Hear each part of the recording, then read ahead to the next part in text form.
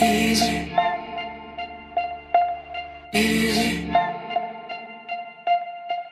Pull out your heart to me.